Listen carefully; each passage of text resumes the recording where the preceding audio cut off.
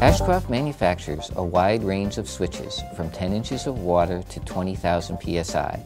Please follow appropriate safety procedures as required by your company for the pressure range and medium used. Wear personal protection equipment as required, such as safety glasses. To perform a set point calibration, you will need a pressure source, accurate gauge, a means to monitor the microswitch contacts opening and closing. For high pressures, we recommend using a hand pump setup.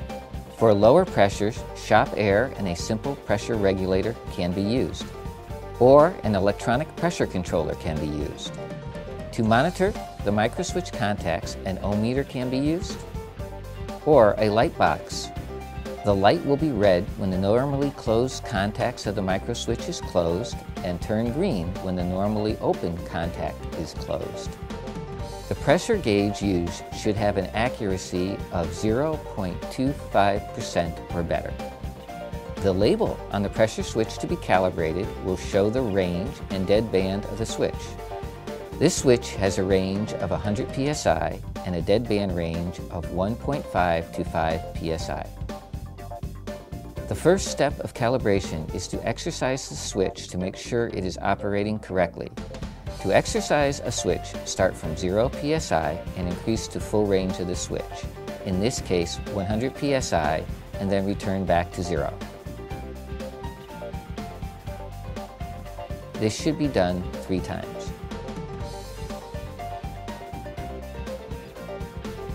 To measure an increasing set point, Start at 0 psi and increase the pressure to the set point. The light will turn green, indicating the normally open contact of the switch has closed. For this switch, it is 80 psi. To measure the deadband, slowly reduce the pressure until the light turns red, indicating the micro switch normally closed contact has closed. This is 77 psi.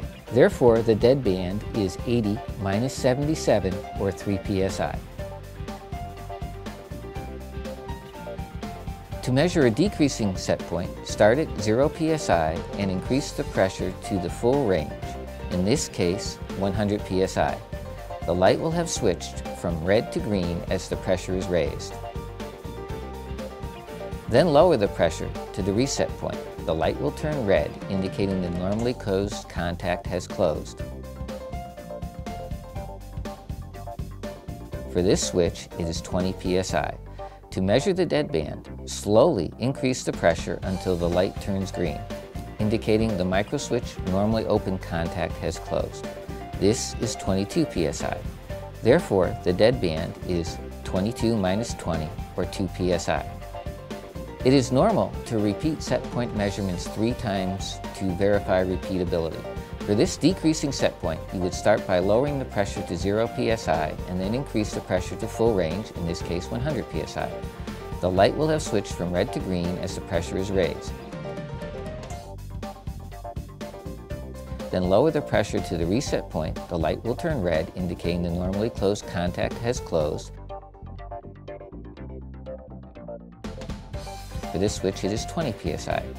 To measure the deadband, slowly increase the pressure until the light turns green, indicating the micro switch normally open contact has closed. This is 22 psi. Therefore, the deadband is 22 minus 20, or 2 psi. For set points on vacuum range switches, it is best to think of the set point as a negative pressure. So an increasing vacuum set point is a decreasing pressure set point and a decreasing vacuum set point is an increasing pressure set point.